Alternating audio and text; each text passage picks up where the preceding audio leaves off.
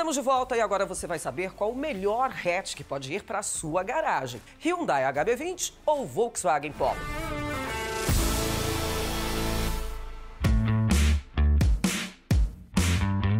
Agora chegou aquela hora que todo jornalista automotivo gosta: dirigir. Vocês estão conseguindo ouvir daí?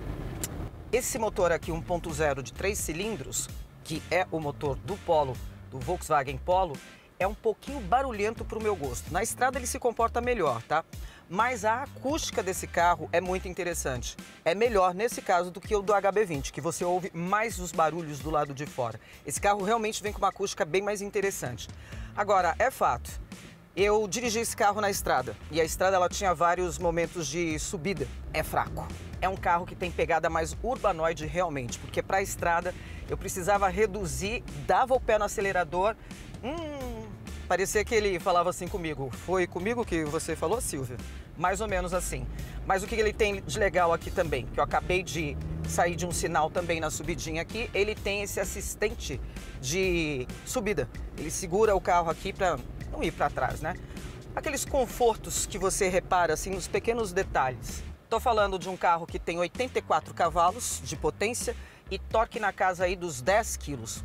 Quase nada de diferente do HB20. Como eu dirigi esse carro na estrada, o comportamento dele no consumo não foi tão legal assim, porque eu tinha que reduzir toda hora, então o giro subia, ia lá em cima, e aí, claro, obviamente gasta mais. Eu andei com esse carro 80 quilômetros e ele saiu de ele estava mais ou menos com um quarto só gasto, né?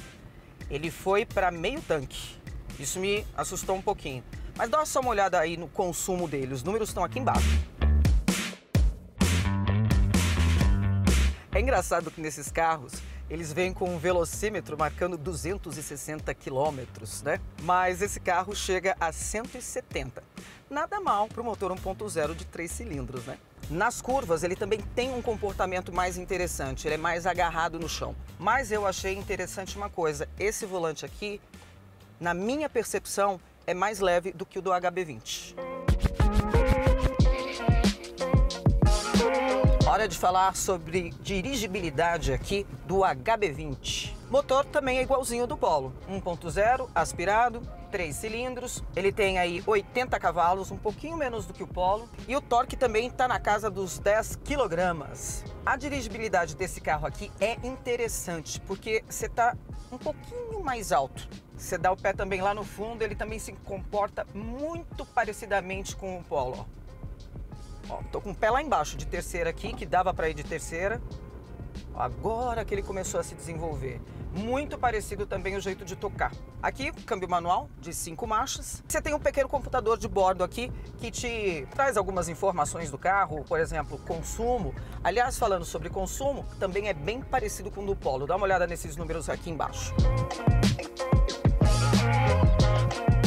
0 a 100 em 14 segundos e meio.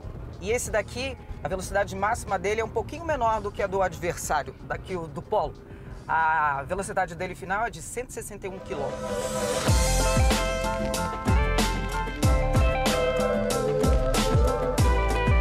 De um lado, tecnologia, acabamento, equipamento, Hyundai. Do outro, dirigibilidade, câmbio, Volkswagen. O preço tá ali, ó, um coladinho no outro. E aí, qual que você escolhe? Por enquanto é só, galera. Valeu pela companhia, pela audiência e ó, até o próximo vídeo, hein? Tchau!